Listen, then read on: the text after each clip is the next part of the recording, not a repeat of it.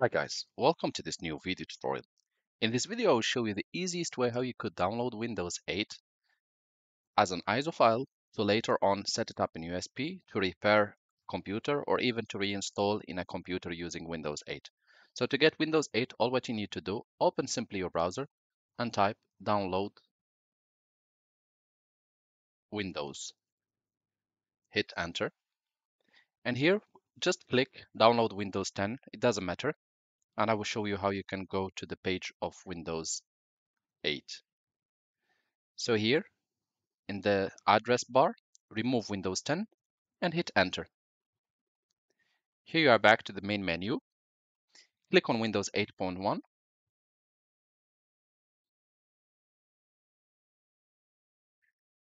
and here it says download Windows 8.1 disk image ISO file. So here select an edition you have different options, single language, etc.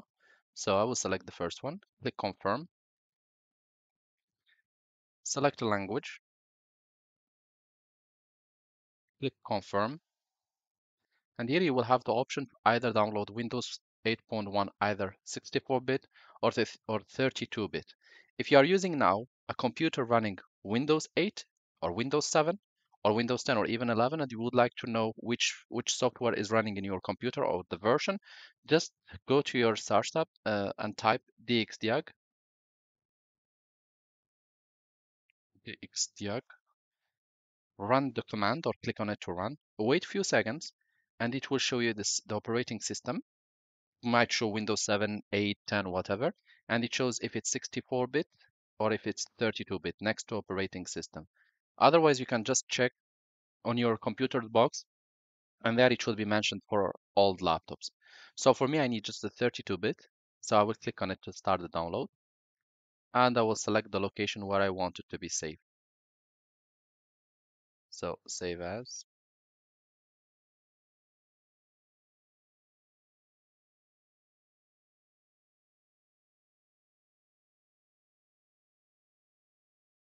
So once the download is over, you will see it in your download files. So we can just close this.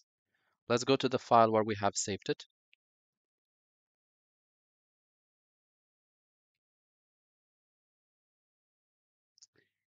And here we have our Windows 8 downloaded.